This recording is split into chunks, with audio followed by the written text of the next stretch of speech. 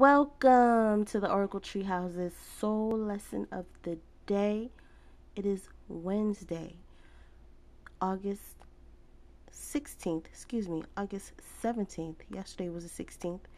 Wednesday, August 17th, 2011. I am the Lady of the Treehouse, clairvoyant, intuitive Shenice Jones for this wonderful Wednesday.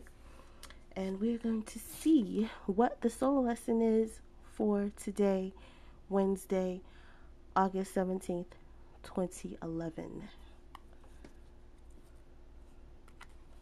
Oh wow, that's deep.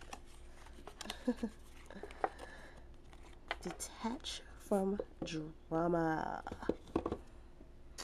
Yes. Uh, and I immediately felt a negative vibe. When it comes to this, we have to detach from drama.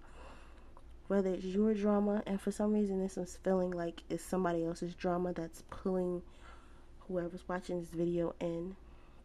I have to detach from it because when you get grabbed into somebody else's drama, you end up blocking the energy flow of your energy field so that way things stop flowing for you. Remember, energy never dissipates, it just comes back in a different form. And if the person that you're dealing with is dealing with a whole bunch of drama and you go into that drama, it goes into your energy field. So, therefore, it's going to have an effect on you. So, we have to learn how to detach from the drama. And I'm also hearing meditate, meditate, meditate. You may have to meditate. You may have to separate yourself from the whole situation, the whole person at hand. But the drama is dragging you in, and we don't want to make it like a Romeo and Juliet scene as we see here with the flags, well, with the curtains blowing in the wind. We don't want that. So, detach from the drama, detach from the TV.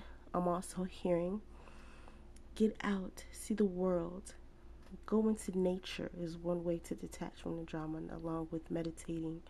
Um, hanging around people that aren't drama. That's another way. People who are inspiring to you, people who are inspiration to you, people who have a positive influence on you. That's another way to look at it too. Alrighty, that is today's soul lesson for this wonderful Wednesday, August 17th, 2011. I will talk to y'all tomorrow. Love ya. Bye.